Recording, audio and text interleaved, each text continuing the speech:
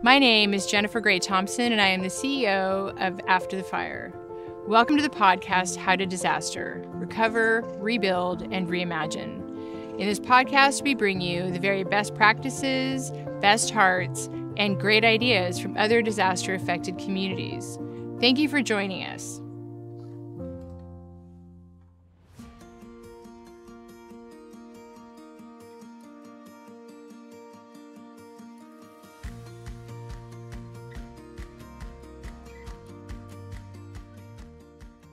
Welcome to season three of the How to Disaster podcast, where we help you recover, rebuild, and reimagine. During this season, we will be releasing Take Fives, shorter episodes that highlight some of our past guests speaking about similar issues, themes, topics. We wanted to do this so that perhaps it'd be easier if you only have a few minutes, but you wanted to connect with these focused episodes and guests that you could condense all their messages um, into one smaller bite-sized piece one of the things that we know about disaster is that we really have to meet people where they're at. And sometimes where you're at is you only have five minutes. We're very excited for the third season. We've got great guests and wonderful information and content about how to actually help get your community through to the other side. So thank you for joining us. And if you wish to find out more, please visit our homepage at afterthefireusa.org. Consider giving us a like or follow if you like this podcast. We really appreciate it and thank you for your time.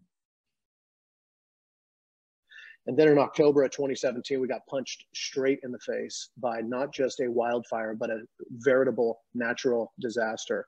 Diablo winds, hurricane winds, came into our community, caught us on our heels, and it took us a long time to get back onto our toes.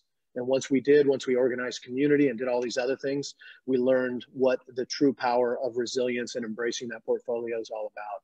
And it's been far more learning than I've been teaching. And uh, but you know, I've been a lead nationally, National Association of Counties, a chair of Resilient Counties, testifying before Congress, lead the effort statewide. I'm the president of California counties this year, and uh, created their resilient portfolio and work with the governor's office on getting money, resources, time, prioritization into these efforts. It's time not to just be, as we say, Sonoma strong after disaster or before a disaster be Sonoma ready, but be Sonoma safe. Uh, that was a perfect introduction, so thank you, because it encapsulates um, so much of actually why I like working with you. And one of the things is about your approach to servant leadership, and it is a different approach. Can you talk to us about why that's so important, especially in the midst of a of a natural disaster? Gosh, you know, it's crazy because I've got the chills right now. It's like you're bringing me back to those moments when you talked about that. The first thing that goes into my mind is is that, you know, I'm in the public sector. I'm an elected official. I don't like to call myself a politician because some people think that's a bad word, right? But when things were going crazy in 2017 and before that, and what I've learned is diving deep into it, is, is that I have access and I need to give people that access. I don't need to hold that to myself, right? Um, you and I know of a lot of people in my position and other positions like yourself. They go to briefings, they sit in big tents as disaster people run around and talk about high level things and show maps. Then they put out a little bit communications, a press release to the community. And for me, it's been all about getting people what they want and what they ask for. So if they want to know where the fire is, I go out and I interview the fire captain and you get I have them get out a map. And you know what? All of a sudden, instead of 200 people clicking on a, a link because it's like, oh, I want to see, all of a sudden 50,000 people watch a video. And I'm like, wow, okay, cool. Now I need to facilitate me to get out of the way of me to get all these other awesome people talking and help translate what they say as professionals into our community because our community wants to know what's going on. They want to know how to empower themselves. They want to know what they need to change. They have power. You just have to create some infrastructure underneath them. So servant leadership, in my in, in, in my mind, is uh, part of it's leading by following. Right? You, you you have to keep your nose to the ground, or as they say, you know, get the pulse of the community. And once you catch that, um, you have to start to feed that. Right? And uh, if you help people rise up, the fascinating thing is they start to hold you even more accountable, and that's good because then they want more. Right? They want more progress. That's what I want. so at about midnight, um, when I had got the evacuation order to evacuate my own home, um, our protocol in Malibu is if there's evacuation south of the 101, which was what was happening, then we act fully activate our EOC. And so we started to evacuate, uh, activate our EOC, and my staff uh, came in and started, um, you know, doing messaging and, and, and stepping everything up. Um, and at about 7 a.m. on Friday morning, uh, we got notice from the fire department that we needed to evacuate uh, the entire city of Malibu. And so what was happening was there was a wall of fire about 14 miles long headed toward the coast. And we were dealing with, you know, 70, 80 mile an hour winds. The fire front was actually um, uh, they were holding the front in certain areas, but with the wind, the embers were driving those embers uh, uh, about two miles ahead of the front. And so that was where they really lost control. Um, unbeknownst to me at that time was that uh, the LA County, who was started to leave Ventura County, it started in Ventura County and moved to LA County, you know, was begging for resources, and they kept putting in the mutual aid resource requests and not getting them. So they would be asking, you know, for 500 engines and getting 50. When we look at um, at California, where we sit, and that uh, especially as a representative of Napa County and agricultural region, um, diversity is part of our fabric. Um, but that diversity isn't just even race, right? When you look at, at a piece of paper and you look at your census demographics, uh, diversity is culture.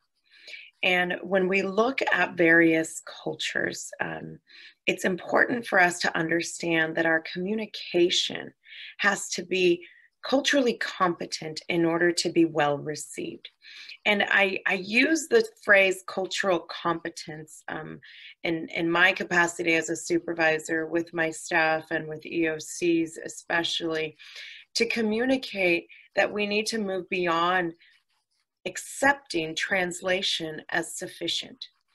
And cultural competency, um, really, just to, to, to touch upon it, um, really stems um, from a place of equity in our communication and understanding that not every person is similarly situated to receive that same Nixle message, that same IPAWS message, uh, that same broadcast and radio message in the same exact way.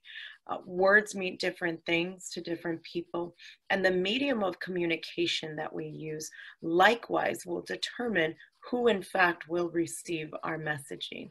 And so it's really important for us when we look at disaster communication, redundancy is the word that we use, right? We want to make sure that a person not just receives a message once, we want them to receive it two, three times because that's how we know we are reaching people. But even if a message arrives at a person, that's the technological part, right? That's our communications. Those are our towers and infrastructure. That's the cellular data plans, the broadband that gets the message to the person. What happens when the message arrives at that person is what actually will impact whether someone is able to survive a disaster or not.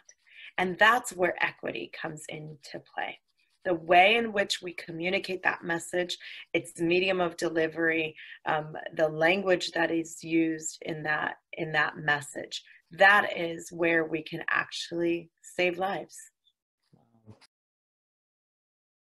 This podcast is sponsored by Fire Safe Signs. In a disaster, seconds matter. Fire safe signs give first responders critical information like can a fire truck make it down the driveway? What water sources are available? Fire safe signs help property owners provide crucial information to first responders, and they're made in the USA. Getting this information in seconds helps save lives. Together, we make our community safe. Visit us today at firesafesigns.com you know, and, and you want to make sure too, and it's something we did after the Woolsey fire is really increase the number of people in our CERT team, the community emergency response team, because those people know their neighbors and they know their neighborhoods and they you know even with a small amount of training can be a huge resource to connect with people. Um, we unfortunately suffered um, flood after fire immediately post woolsey and went through another round of about four evacuation series of evacuations. And so we used our cert members to go door to door to make sure that their neighborhood and their neighbors knew there's a large rain event coming, be prepared, you know, keep your phone charged, ready, be ready to go, ready, set, go. Um, and they were wonderful because they know the people. So you're going to open the door to your neighbor where you may not to a stranger from the city coming by. Um, I wanted to also share the other um, thing that we have implemented, um, and it sounds very simple, and it actually is. Um, but we were really worried that we would hit get a, get put in the exact same situation where we didn't have resources. Um, we had always assumed in evacuations, if power went out, that we would use sheriff deputies to drive through our neighborhoods to evacuate people. And because of the number of people being evacuated at the same time, you know, there just wasn't uh, there wasn't the ability to get that many uh, law enforcement officers in the neighborhoods at the same time. And so we purchased, the city purchased about 50 bullhorns and we made magnets for all of our city cars that say disaster response. And um, we've trained and we've done drills of this where I put two city staff people in a car. One's driving, one's using a bullhorn. They have a siren and a microphone, and they drive through the neighborhoods and saying, time to evacuate, you know, and um, it actually works pretty well. Um, so we did it so we could see. And so it's just one more tool that we have. I hope I never have to do that. But, you know, if we get put in a situation where we don't have enough resources to do evacuations, my staff can actually step up and do it. There's people in our emergency operations center who were worried about if they lost their home. They were Karen Fies, our head of human services, fled her home and went to her office uh, and sat there and mobilized her team of, you know, 700 employees while her home burnt down, right? Uh, just, oh, I can still feel it. Um, so there's this crazy thing about not being able to be a professional, but being embedded into the into the very storm that you're, uh, you know, that you're sailing through. And I think in a certain ways it makes you more human, and it shows you really how much you can handle um, because everybody was personally invested. You know, you were running out into Sonoma Valley doing what I was doing and trying to hit everybody and everything and just get the sense of what was going on because a lot of people in those initial moments they have that uh, deer in the headlights look and it's like the fog of war around the community. And it was just about being like you okay? Do you need a connection to something? It was kind of it started with just a soft understanding. And then there's this point where certain folks just dive in and uh, you know, you've talked about this a little bit. Uh, you said diving into the wreck. You know, one thing that I always say is is that, you know, um, hell hath no fury like trying to really uh, make progress in imperfect systems. You know, you try and stick your head into a problem, and all the people who have talked about the problem for years want to attack you for having the audacity to not talk to them first about what they've learned. And then the other ones want to critique you while you're going through it to say what you're doing isn't good enough but you just get busy and you start to build momentum. I say the hardest thing in this world is to create momentum out of thin air. And then the only thing harder than the hardest thing is to try and recreate lost momentum because there's a lack of belief that it worked the first time. You know, I I think you know when you when you look at what your your role is um, after uh, we all as we're moving with adrenaline through a disaster, and I'm going to say, a, you know, a, a, a short-lived disaster like a fire, an earthquake, a flood, um, you're moving through it, and and you get to that point where you say, okay, it's over. Um, but what I would say to any elected official um, is, no, your work has just begun. Um, the the the work that comes from disaster recovery is an incredible lift. Um, one that each time I, um, I, I, I, must say is um, is over. It can be overwhelming. Um, but as with any situation in life, um, someone always has it harder than you. And I think that that's um, what has really helped me understand our partners in the region of rebuild uh, with Lake and Mendocino. And knowing um, that, you know, at the time when we went, more than half of Lake County had burned. Um, and I, I remember thinking about that and thinking half of their county has burned. More than half of their population has relocated. And there was one moment where they had $48,000 in the bank as a county. And, and, and they could not afford to purchase a plane ticket for a supervisor to go. And, and, and thinking, putting my mind around that. That's a harder situation for them than anything I've ever had to face here in Napa County. I have a gift, and that is I am from Napa County. And when I say I am from Napa County, it opens doors. I don't ever need to explain where I'm from. Everyone in DC knows where I'm from. And I can share that gift, that blessing with Mendocino and Lake County. And for us, it's important when we are looking at advocacy, we need to not look at it in an insular way.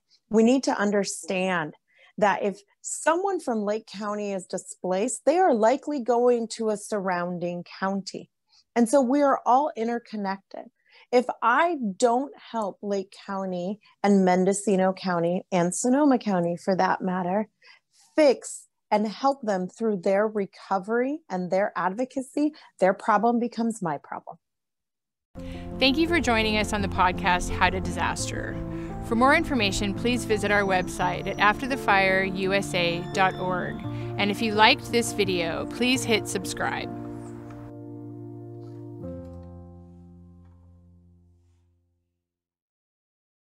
Fannie Mae provides mortgage options for you and your family. If you have a mortgage owned by Fannie Mae, you may have financial options available after a disaster, such as forbearance plans, deferral of payments, lending assistance, and counseling. Find out more from our Disaster Response Network. Go online at www.knowyouroptions.com/relief or call 1-877-833-1746 today.